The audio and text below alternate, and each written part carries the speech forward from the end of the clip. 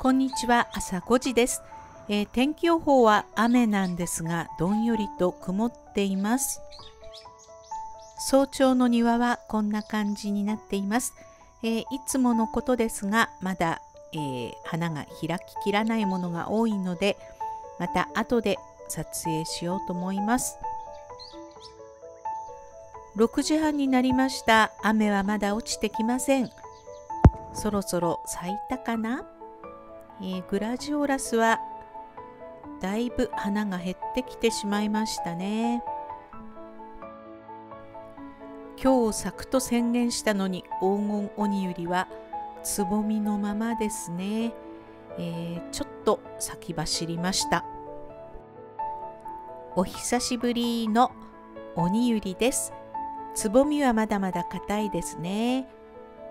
えー、ムカゴができていました。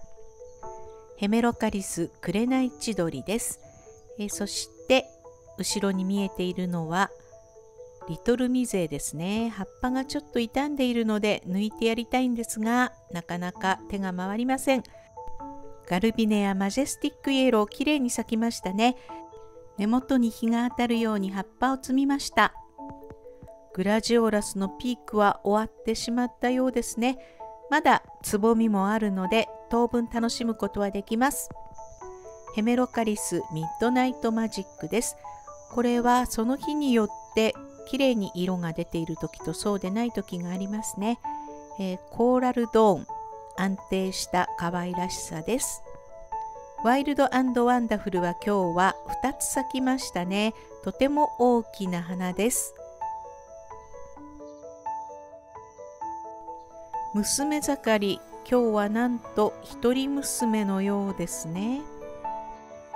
ヘメロカリスムーンストーリーはつぼみの数が残りわずかです。フェアリーテイルピンク、えー、こちらはまだ楽しめるかなと思います。アガパンサスこれは中くらいの竹のものです、えー、私のお気に入りのアガパンサスなんですが名前が相変わらず分かりません。えー、このボール状のところを見ていただくとつぼみもありますが、えー、終わった花もありますね。アップにするとこんな感じです。とても可愛らしい色と形ですね。これは背は低めですが、えー、花が大型のアガパンサスです。大株になると見応えがありますね。アップでこれも見てみましょう、えー、アップにすると雰囲気がまた変わりますね。綺麗ですね。ヘメロカリストスカウィラタージマハル、えー、これもその日によって色合いがちょっと変わります。タスカウィラティグレス。これも大きな花で茎もすごく太くてしっかりしています。パープルカサブランカ、えー、今日は綺麗な色が出ていますね。オレンジカサブランカもとても綺麗なオレンジ色に見えます。ユーコミスです、えー、パイナップルのような花がたくさんあります。これはトモエソウですね。花びら普通5枚なんですが右側の花4枚ですね。四つどもえでしょうか、えー、これはコンカドール。別名イエローカサブランカですね。朝一番で気温を測るの忘れたんですが23.5度でした、えー、9時になると青空が見えてきました。